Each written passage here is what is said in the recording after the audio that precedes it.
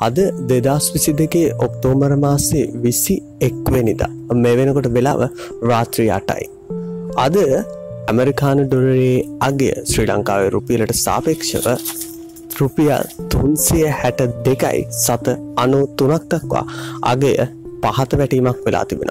මොකද කෙනනම් අද දවස උදේවරු වෙනකොට තුන්සිය හැට හයසීමාව දක්වා ඉහලක් ගහිල්ල තිබිච්ච ඩොලරේ අගය මේ වෙනකොට යම්තාක් දුරකට මිල පහලයාමක් වෙලා තියෙනවා ඒඇනේ අද දවසේ උදේවරුව ප්‍රමාණය වෙලා තිබුණට වඩා රුපියල යම්තාක් දුරකට ශක්තිමත් වීමක් වෙලා තියෙනවා. නමුත් මේ ඉහළ පහලයාම සත්‍ය ලෙසම සිදුවන දෙයක් නොවෙයි. රටේ ආර්ථික තත්ත්වය එන්න එන්නම අඩාල වෙනකොට ඩොලරේ අගේ මේ විදියට පාලනය කරගෙන ඉන්න එක ඒ තරම් සුබදායක දෙයක් වෙන්නේ නෑ.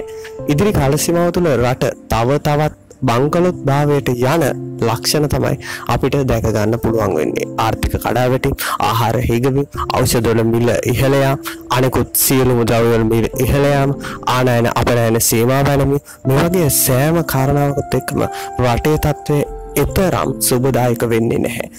බලමු ඉදිරි කාලසිමාව තුළ මේ තත්ත්වය කුමන ආකාරයකට පවතිද කියලා නිරන්තරයෙන් අප සමඟ රැඳීන්න. මොම ස්තුතියි